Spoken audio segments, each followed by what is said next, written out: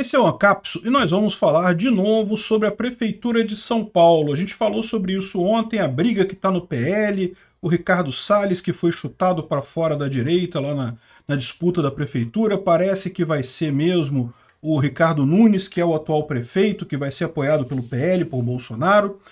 Mas, além disso, você tem o outro lado da coisa. Parece que a relação do Boulos com o PT não está tão boa assim não. Vamos entender esse assunto. Essa notícia foi sugerida por Flávio Dino, é o Nurgle do Warhammer. Salvem as girafas da Amazônia e várias outras pessoas. Obrigado aí ao pessoal que sugeriu a notícia. Obrigado a você que está assistindo o nosso vídeo. Se você gosta do nosso conteúdo, por favor, deixe o seu like e se inscreva aqui no canal, né? Pois bem, olha só, é o que eu falei para vocês, o Boulos é um candidato muito forte em São Paulo ano que vem.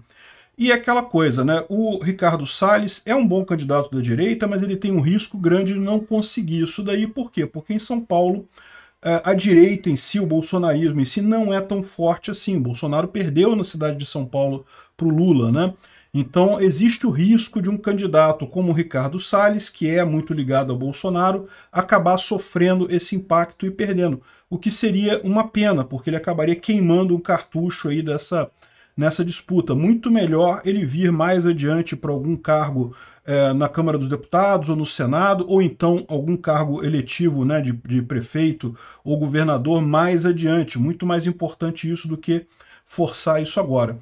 Então, qual que era a premissa ali? Né? A premissa é que houve um grande acordo entre o Boulos, o PSOL e o PT, em que o PSOL apoiou o Lula, né, fez um apoio muito direto durante a eleição, não lançou candidato contra o Lula, apoiou o tempo todo, e em troca o Lula se comprometeu a apoiar o Boulos na Prefeitura de São Paulo em 2024.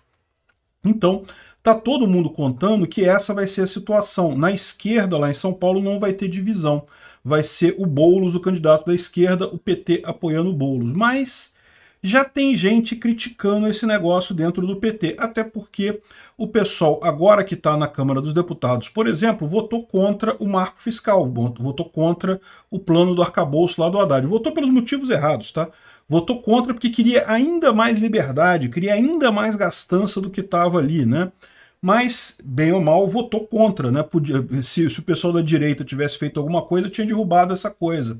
Tinha deixado o teto de gastos mesmo. Mas, enfim, no final das contas, é, o que é, aconteceu aqui é justamente isso. O Gilmar Tato, que é um petista histórico lá de São Paulo, está dizendo que esse negócio de apoiar o pessoal é jogo de perde-perde.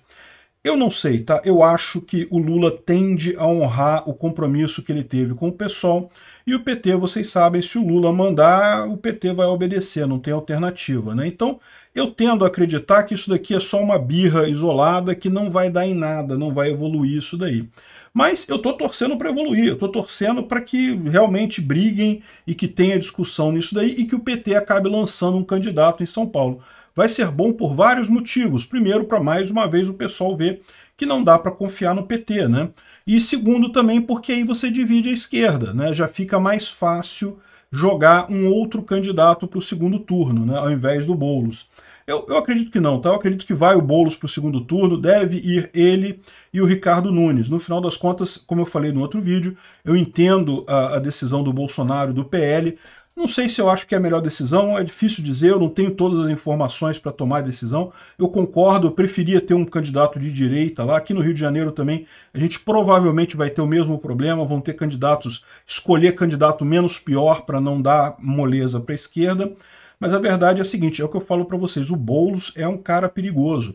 O Boulos tem um potencial aqui no Brasil de ocupar o espaço que o Lula está deixando.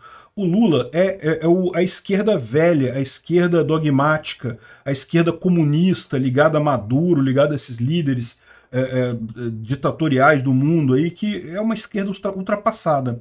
Eu tenho muito mais medo da esquerda tipo Boric lá no Chile, que é a esquerda mais ligada à pauta identitária, que não tem mais essa paranoia de, de socialismo total, de não, vamos acabar com o capitalismo, de tomar, tomar golpe e coisa e tal. É, não é que não é que seja melhor, não, tá? É tão ruim quanto, mas no final das contas eu tenho mais medo porque eu acho que o pessoal da isentosfera cai numa e não cai na outra. Bom, se bem que caiu no Lula, né? Ou seja, o pessoal da isentosfera realmente não dá para contar com nada com eles. O pessoal da semi-direita aí não, serve para porcaria nenhuma.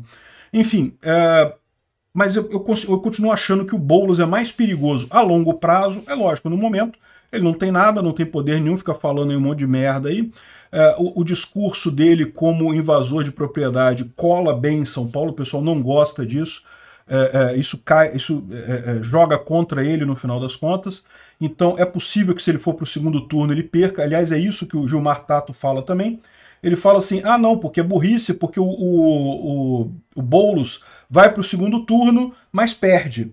Então a gente não ganha a eleição na capital e perde mais uma vez porque o pessoal não está votando com o governo, né? Ou seja, ele está achando que é, o Boulos chega no segundo turno, mas não passa no segundo turno, acaba perdendo.